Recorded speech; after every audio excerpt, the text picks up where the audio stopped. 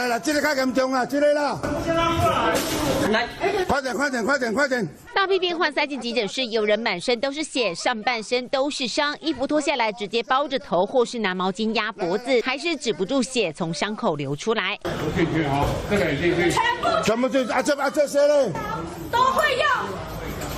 会痛哦，等一下，等一下，没关系。我们来一开口。来来来，这个太严重啊，这个啦。急诊室一片混乱，护理师狂喊都要紧急抢救。明阳工厂爆炸，员工连滚带爬逃出工厂。回想当时都还在发抖。我们是先看到有烟，然后还正在讲这件事情的时候，就是来不及反应就爆炸了。因为那个时候窗户也整个都震碎了，可以爬出来。有越南的同事很热心帮忙。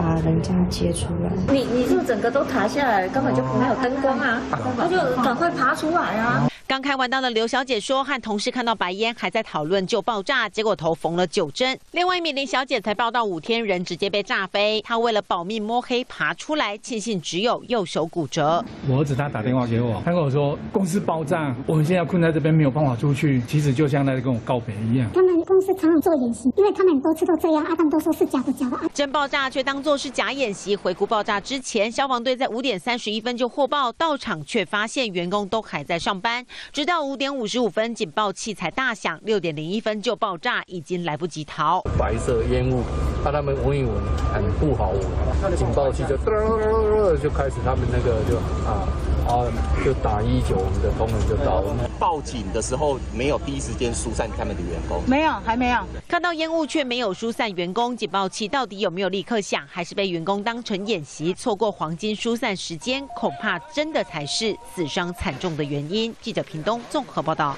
我是李一璇，主播工作对我来说是一秒都不能松懈的战场。将撼动社会大众关心的议题清楚传达出来，更要求自己先是一名认真的记者，才是对观众负责的主播。更多新闻请锁定中视 YouTube 频道，记得按赞、订阅、分享，并开启小铃铛哦。